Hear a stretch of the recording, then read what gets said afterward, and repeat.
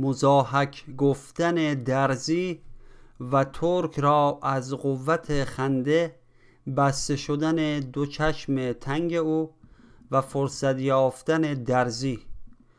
ترک خندیدن گرفت از داستان چشم تنگش گشت بسته آن زمان. پاره ای دزدید و کردش زیر ران از جز حق از همه احیا نهان.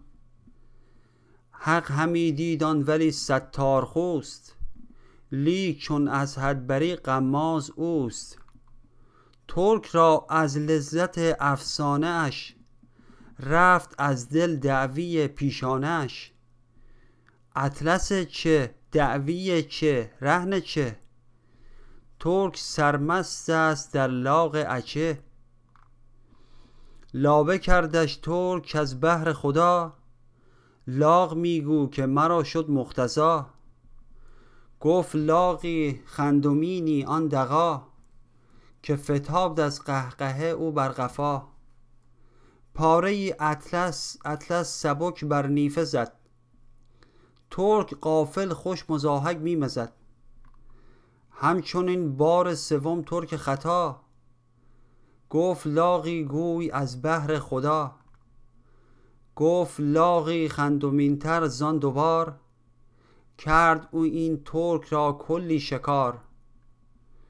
چشم بسته عقل جسته مولهه مست ترک مدعی از قهقهه پس سوم بار از قبا دزدید شاخ که ز خندش یافت میدان فراخ. چون چهارم بار آن ترک خطا لاغ از آن استا همی کرد اقتضا رحم آمد بر وی آن استاد را.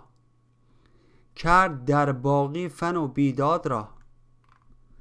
گفت مولع گشت این مفتون درین بی خبر کین چه خسار است و غبین.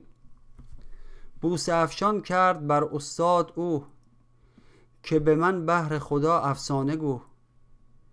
ای فسانه گشته و محو از وجود چند افسانه بخواهی آزمود؟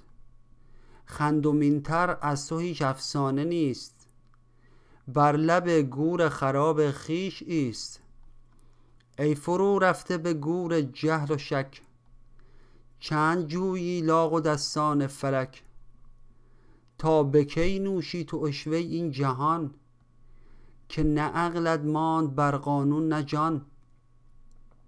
لاغ این چرخ ندیم کرد و مرد. آب روی صد هزاران چون تو برد. می دوزد این درزی عام. جامه صد سالگان طفل خام. لاغ او گر باغها را داد داد. چون دی آمد داده را بر باد داد. پیر طفلان شسته پیشش بهر کد تا به سعد و نحس او لاغی کند.